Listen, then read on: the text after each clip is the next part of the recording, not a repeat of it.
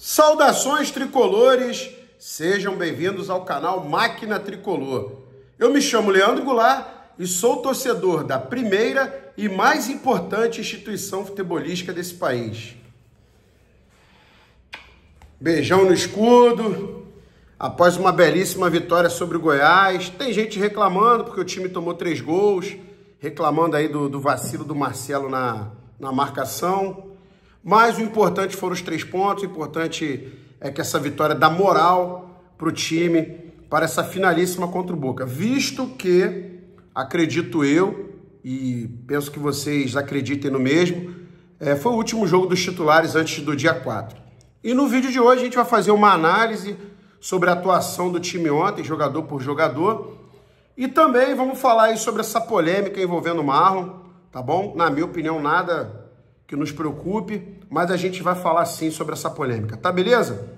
Então já vou pedindo para vocês darem aquela força pro canal, deixa o like aí, ó, o joinha, é só clicar ali, custa nada, ajuda muito o canal. Compartilha o vídeo aí nos grupos de WhatsApp para a rapaziada conhecer o canal. Manda ver nos comentários, isso é muito importante. E se você ainda não estiver inscrito, se inscreva, por favor. Ou se conhece alguém que não está inscrito, bota a pilha para se inscrever, porque vale muito a pena. Tá beleza? Então, rapaziada, vamos fluminensear, vamos com tudo. Galera, Fluminense obteve uma vitória ontem, volta redonda, sobre o Goiás, time que está na, na zona do rebaixamento ali.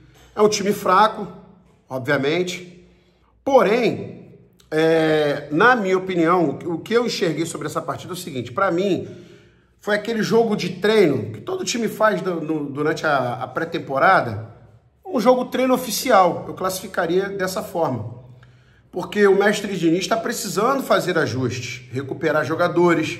E quando eu digo recuperar, eu estou me referindo a recuperar fisicamente, tecnicamente, psicologicamente. E ele está ainda fazendo alguns ajustes. Tem, na minha opinião, acho que tem coisa para modificar ainda para essa final. Aí vocês devem estar tá perguntando: caramba, o Leandro está tá inventando moda agora, faltando poucos dias para a final. Não, não estou inventando moda, gente. Eu penso o seguinte, é a minha opinião aqui, tá? Deixa nos comentários aí se vocês concordam ou não, ou acrescenta. Às vezes vocês concordam e querem acrescentar algo. Na minha opinião, quem está garantido nessa final para começar o jogo como titular são Fábio, Samuel Xavier, Nino Felipe Melo e Marcelo. Ele vai botar Marcelo na lateral esquerda. Ah, Leandro, por que, que você está falando isso? Porque se ele fosse colocar no meio, ele já estaria usando esses jogos para testar o Marcelo no meio. E ele não fez isso. Então ele já sinalizou que o Marcelo realmente vai iniciar o jogo contra o Boca no dia 4, na lateral esquerda. Felipe Melo, a gente tem que ver a situação clínica dele, mas se tiver tudo bem clinicamente, é Felipe Melo, beleza. Agora o problema vem no meio. A gente sabe que o volante, ele, o primeiro volante, indubitavelmente é o André. Não tem o que questionar. E aí, quem seria o segundo homem de meio campo? Quem seria? Quem assistiu a live ontem tá ligado no que eu falei. Galera, o Alexander não joga bola há muito tempo. Desde que o Alexander voltou da, da lesão dele, se recuperou da lesão, ele não joga bola. Ah, Leandro, por quê? Não sei, não vou entrar em detalhes aqui. Tenho minha opinião, mas é uma intuição, é, é um achismo, e eu não vou falar aqui até para não gerar problema aí, porque a gente está a poucos dias da final. Mas vocês devem imaginar o que eu penso, até porque eu acho que vocês pensam mesmo. O moleque não está rendendo nada, não está bem, está se arrastando em campo, está tá cometendo falhas técnicas primárias, coisa que nem o jogador do Sub-17 comete. Está muito desconcentrado, não entra focado no jogo, não consegue render. Então, na minha opinião, hoje muito provavelmente, isso tem se mostrado nas escalações do mestre Diniz, o jogador que deve começar contra o Boca é o Martinelli, tá? É o Martinelli. Vem fazendo boas partidas, vem se consolidando cada vez mais e tem essa questão do Alexander. Eu acho muito difícil o mestre Diniz começar o jogo contra o Alexander. E vocês, a gente aqui na torcida do Fluminense, tem que se desapegar daquele Alexander que estava jogando até a sua lesão. Aquele jogador ali ainda não voltou. Beleza? Então acho que fica uma, um ponto de interrogação aí nessa segunda posição. Ganso ontem já jogou melhor, se apresentou melhor do que vinha apresentando. Ainda não é aquilo que ele pode nos proporcionar diante da capacidade que ele tem, né, do, do talento que ele tem. É um jogador que tem um talento inquestionável. Não atuou no nível do talento dele, mas já foi melhor do que em outras partidas. Inclusive deu duas assistências para os gols. É, a nossa torcida, claro, fica para que ele faça um grande jogo no dia 4 e seja aquele ganso genial que todos nós conhecemos. E aí vem o outro jogador que é o John Arias, que é inquestionável, Cano, inquestionável. E ontem, se alguém tinha alguma dúvida em relação ao Keno, ou melhor, Kenaldinho, galera, foi pro ralo. Que partida o nosso querido Kenaldinho fez ontem. Ele acabou com o jogo, destruiu o Goiás. Me lembrou muito a atuação dele contra o Olímpia. A diferença é que contra o Olímpia aqui no Maracanã ele não fez gol. Mas foi um jogador que infernizou a defesa do Olímpia. Foi muito importante naquele jogo porque o Olímpia colocou um caminhão ali na defesa e ele ganhou praticamente todas as jogadas em cima dos caras e infernizou. Ontem ele fez a mesma coisa, a diferença é que ele conseguiu fazer gols. A jogada que ele sofre o pênalti foi uma jogadaça e depois ele faz a mesma jogada, só que ele consegue concluir a gol. Então, na minha opinião, gente, só vai ficar uma dúvida na cabeça do mestre Diniz para essa final. Quem vai começar? Martinelli ou Alexander? Eu diria o seguinte, tá? Eu vou até acrescentar mais uma situação aí. Hoje, o Alexandre nem é a segunda opção. Na minha opinião, ele é a terceira. Por quê? Porque o Lima faz aquela função ali também. Ah, Leandro, mas ele não faz bem. Beleza, concordo. Eu prefiro o Lima mais adiantado. Tem jogado muito bem. É, é, o terceiro na artilharia do ano aí do time. Só fica atrás do John Kennedy e do Cano. Mas é um homem de confiança do mestre Diniz. Então não se espantem se o Lima foi escalado para essa decisão e começar como titular até porque tá vindo bem, tá vindo muito bem. Eu não sou de acordo dele jogar de segundo volante, tá? Não sou, não gosto.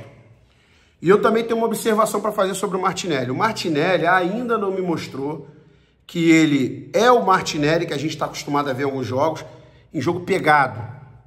Maracanã lotado, estádio lotado, time adversário marcando pressão, jogo de ele ainda não mostrou. Se ele começar jogando contra o Boca, eu rezo muito, peço muito a Deus que ele deslanche nesse jogo, porque analisar as atuações do Martinelli em jogo tranquilo, você vai, você vai achar ele o maior craque do, do, do futebol brasileiro na posição. Porque ele tecnicamente é muito bom. O problema do Martinelli é que quando tem jogo pegado, ele não consegue render. A bola queima no pé dele. Ele fica perdidinho. O, é, é, é completamente o contrário, por exemplo, do André. O André é joguinho vagabundo, joguinho que não vale nada. O André é falha, entrega gol, faz tudo. Quando é um jogaço, estádio lotado, jogo valendo classificação, o André se agiganta. O Martinelli já não tem essa característica. Então não se espantem também se o Lima aparecer como opção para essa final. Alguns até levantaram a bola do Lima jogar no lugar do Ganso. Esquece. Ganso é homem de confiança do Diniz. É um cara que trabalhou com o Diniz em 2019 tem a confiança do Diniz, tem a confiança do grupo, é um cara que, por mais que não esteja vivendo um grande momento, ele é um jogador que decide o jogo num, num lance de genialidade. Então, esquece, não cria esperança, porque o Diniz não vai abrir mão do ganso dessa final. Na minha opinião, o time que vai começar é esse, a dúvida fica ali na posição de segundo volante. Agora, no decorrer do jogo, com as opções que o mestre Diniz terá no banco, aí sim podem haver variações, como por exemplo, Diogo Barbosa entrar no lugar do Marcelo para reforçar a marcação no setor dele, setor esquerdo, Marcelo cair para o meio. Ah, durante o próprio jogo, o Marcelo abandonar a lateral esquerda e cair para o meio, cair na ponta direita, seja onde ele quiser, e alguém cobrir a subida dele, isso aí pode acontecer. Tá? John Kennedy deve entrar no jogo, com certeza vai entrar. Se o Lima não começar, vai entrar também. É um jogador que vem entrando muito bem aquelas substituições que a gente já conhece, né? Sai Felipe Melo no intervalo, entra um zagueiro, Ione Gonzalez entrando na lateral direita, enfim.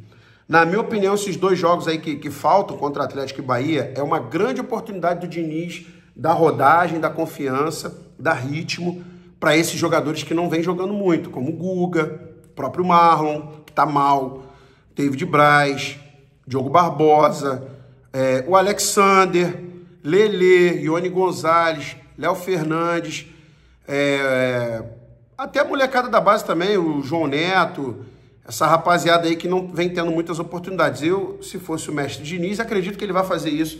Ele vai usar esses dois jogos aí para dar rodagem para essa galera, para dar moral para eles. Com relação ao jogo de ontem, pessoal, é, o Fábio teve uma atuação normal. A galera tá culpando ele no primeiro gol. Não achei culpa dele, achei que o cara foi muito feliz na finalização, chutou no ângulo. Samuel Xavier fez uma partida normal, tá? Eu, eu gosto muito do Samuel Xavier, acho que ele defende muito bem, ataca muito bem. Mas ontem ele fez uma partida normal, não foi o cara do jogo, né? Como em alguns jogos ele é. E aí quando chega na zaga, que foi formada por Felipe Melo e Marlon, a gente tem que reclamar, né? Mas aí, aí eu vou falar uma coisa para vocês, cara. O jogador de futebol, gente, ele depende muito do, da importância do jogo. Se o jogo é de muita importância, ele entra mais ligado, ele entra com uma pegada maior ele entra em outra voltagem. Ontem não era jogo para isso, gente. Os caras estão tirando o pé nitidamente, não estão com aquela vontade, com aquela pegada. E é extremamente compreensível. Jogo contra o Goiás, pô. Jogo que não valia nada. Então, assim, nossa zaga foi mal. O Marcelo foi facilmente driblado ali pelo jogador do Goiás no primeiro gol. Achei que faltou uma cobertura para ele ali. Tem que ter um cara na sobra. Não é só porque é o Marcelo, não. Se fosse qualquer lateral, teria que ter. Achei que a zaga do Fluminense mais uma vez dormiu no lance do segundo gol. Não subiu, ninguém subiu para tentar cabecear aquela bola. Inadmissível isso, por mais que o Babi seja grande. Felipe Melo foi muito feliz fazendo um gol. Isso é bom, porque dá moral para ele. Outra coisa que deu muita moral para ele foi quando ele foi lá, agarrou o Marlon pelos colarinhos e deu uma trava nele para ele se desculpar com a torcida. Não é hora disso, de arrumar problema com o torcedor, nem do torcedor arrumar problema com o jogador. Deixa passar o dia 4 que a gente resolve nossos problemas, tá? E aí chega ali na lateral esquerda, o Marcelo fez uma atuação ali normal, nada demais, nada perto daquilo que a gente, daquilo que a gente sabe que o potencial dele pode entregar. Quando chega no meio, nós temos o nosso queridíssimo André, que é um jogador fenomenal, é impressionante a qualidade desse rapaz, a disposição e a entrega dele. O André é um jogador que, cara, eu nem sei por que, que eu falo dele na, na, nas minhas análises é, pós-jogo, porque tem que pular, porque sempre joga bem, raramente dá mole. Quando dá mole também tem uma justificativa, geralmente é num jogo que não vale nada. O André, é, não sei dizer se é infelizmente ou felizmente, porque provavelmente o Fluminense vai fazer uma grande negociação, com certeza vai ser a maior da história. O André só vai ficar até o final do ano. Com certeza os gigantes da Europa vão se estapear por ele. Espero que seja vendido pelo valor da multa e torço muito para que ele vá para um gigante da Europa, para que a gente possa continuar apreciando o futebol dele, o belíssimo futebol dele, e que ele represente o Fluminense naquilo que tem de melhor na Europa. Para onde o André for, ele sempre vai carregar nossa bandeira. O Martinelli fez uma boa partida, como eu falei, mas eu, eu quero ver essa boa partida do Martinelli num jogo pegado, num jogo difícil. Contra o Goiás, nível de jogo contra o Goiás, já vi ele fazer vários, tá? E aí a gente chega, galera, eu tô aqui pegando uma colinha no meu MacBook porque Cara, eu não tô nem aí para Campeonato Brasileiro, a verdade é essa. E aí, ah, John Arias, o Ganso já avaliei, já falei, né, que o Ganso deu duas assistências, foi melhor do que ele vinha sendo nos últimos jogos, mas a gente sabe que pode ser melhor ainda. John Arias, graças a Deus, fez uma ótima partida, é, dando passe para gol, fez dois gols. E, e, cara, isso é muito importante nesse momento, a gente recuperar determinados jogadores, principalmente na questão psicológica. John Arias é um craque do nosso time, um jogador que a gente deposita muita confiança. Porém, ele não vem fazendo grandes jogos. E ontem ele fez sim um grande jogo, meteu dois gols, e isso vai dar muita moral para ele, vai ser muito bom psicologicamente falando, para que ele chegue nessa final aí possa arrebentar contra o Boca. Ele, ele é um cara que eu boto muita esperança, acredito que vocês também. Nosso queridíssimo Germancano passou em branco, na minha opinião, o gol dele foi mal anulado, não estava impedido, e isso deixou ele mordido. Teve gente na live que até comemorou, falou: oh, é bom que ele não fez gol hoje, porque ele vai ficar mordido e vai meter logo três contra o Boca.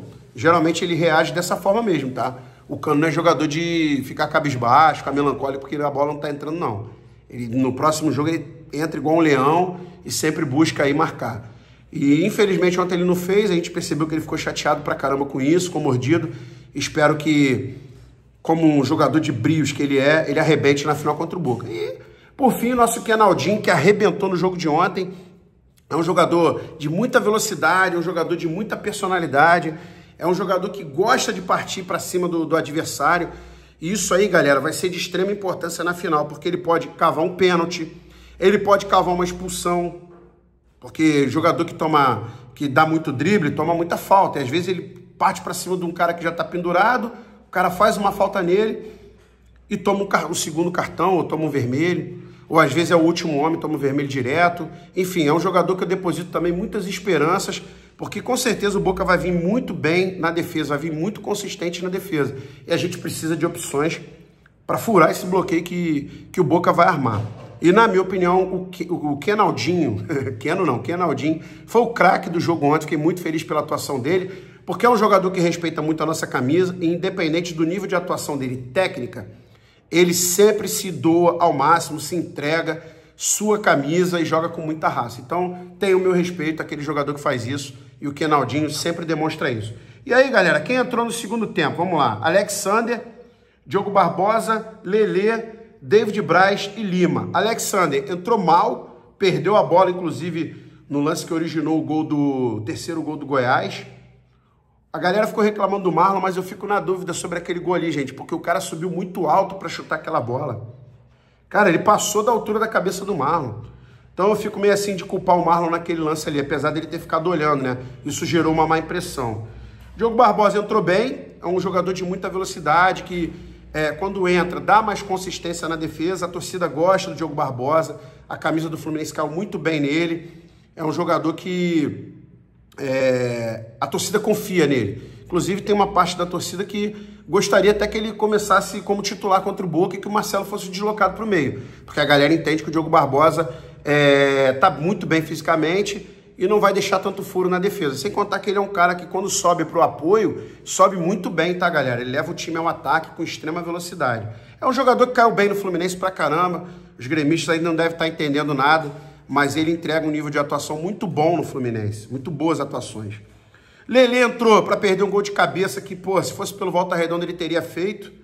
Cara, não é possível. Todas essas atuações do Lele só podem ter uma explicação. Ele vai fazer o gol do título na Libertadores. Sei nem se ele vai entrar. Deus vai ter que mexer os pauzinhos para ele entrar, porque ele não é opção, né? Não tem sido, pelo menos. Mas perdeu um gol de cabeça que pelo Volta Redonda ele não perderia. Mais uma vez fez uma má atuação. Mas repito, na minha opinião, ele é subaproveitado. Ele é jogador de extrema velocidade e força. Tem que ser acionado. O Fluminense tem que explorar esse potencial dele. Trazer o Lelê para a nossa intermediária para pegar a bola e sair jogando, na minha opinião, é burrice. David Braz entrou bem na defesa, é um jogador de extrema categoria, muita experiência, muito tarimbado, entrou ali para trazer segurança ao setor defensivo, devido à saída do nosso querido Felipe Melo. Felipe Melo, que a gente tem que ver aí a gravidade da lesão, mas pelas entrevistas que ele deu, pela forma com que ele falou, a pessoa sente, né, cara, quando a parada é grave ou não. É, pelo visto, ele vai jogar tranquilamente a final, não é problema. E o David Braz entrou ali para dar aquela segurança na zaga, é um jogador que eu confio é um jogador que, na minha opinião, tem que continuar para o ano que vem para quando a gente precisar dele, ele substituir alguém ou entrar no decorrer do jogo, ele fazer o papel dele. E o Lima também entrou, entrou bem no jogo, é um jogador que dá opção, que leva o time ao ataque, que é um jogador que dá uma opção também para a gente na, na, finalização de média e até mesmo longa distância. E é importante o Lima entrar porque hoje o Lima é um dos 12 segundos jogadores, é um jogador que sempre entra no decorrer do jogo. E como eu falei no início do vídeo, se ele não começar como titular, com certeza ele vai entrar no decorrer do jogo. Beleza? Agora, com relação ao Marlon, gente, é, na minha opinião, não é momento da gente entrar em atrito com o jogador. Então, assim, se eu tivesse na hora lá e tivesse a oportunidade de dialogar com a galera que vai ou ele, eu falaria, gente, não faz isso. Quer cobrar? Cobra depois do dia 4, agora não é hora para isso. Conectem, conectem, conectem-se com a Libertadores. Se o jogador errar um passe de um metro, aplaude, cara. O momento é esse. Aí, você, aí vocês vão questionar, pô, mas ele tinha que mandar a torcida calar a boca. Galera, releva. O cara tá de cabeça quente no momento do jogo ali. É, graças a Deus o time ganhou, o time não perdeu. O Felipe Melo também foi, foi um cara experiente. É, como é que eu vou dizer?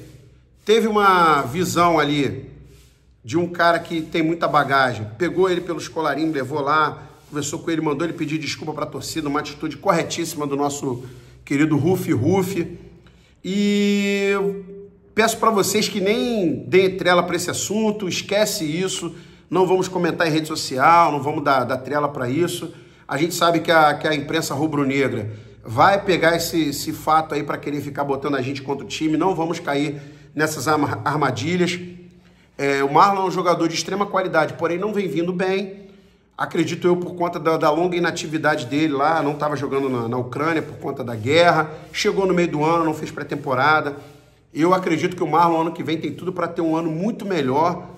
É, óbvio, após vencer a Libertadores e fazer a pré-temporada dele, já vai estar mais adaptado. Mas esse ano realmente o Marlon está mal e só nos resta torcer para que ele e outros jogadores que estão mal e aqueles também que estão bem sejam iluminados no dia 4 e possam fazer uma grande partida para que a gente ganhe a Libertadores. Vocês perceberam que eu deixei o assunto do Marlon para o finalzinho? Porque. É, e nem, nem falei muito, porque, cara, é, é dessa forma que a gente tem que tratar o assunto. Não dá muita bola, não dá muita trela, esquece, já passou. Isso não vai ser motivo para criar atrito entre ele, a torcida e, enfim, qualquer tipo de atrito com, com o grupo. Já foi resolvido, vencemos o jogo, o Rufi Rufi corrigiu ele ali, ele aceitou, teve a humildade de lá pedir desculpa e vida que segue. Rumo ao dia 4, rumo ao título da Libertadores, vamos para cima do Boca. Beleza, galera? Esquece não, pessoal, dá o like aí para ajudar o canal, compartilha o vídeo, manda ver nos comentários, quero saber a opinião de vocês, tá bom? E se você ainda não está inscrito, se inscreve. Mais uma vez, saudações tricolores, fiquem todos com Deus e até o próximo vídeo.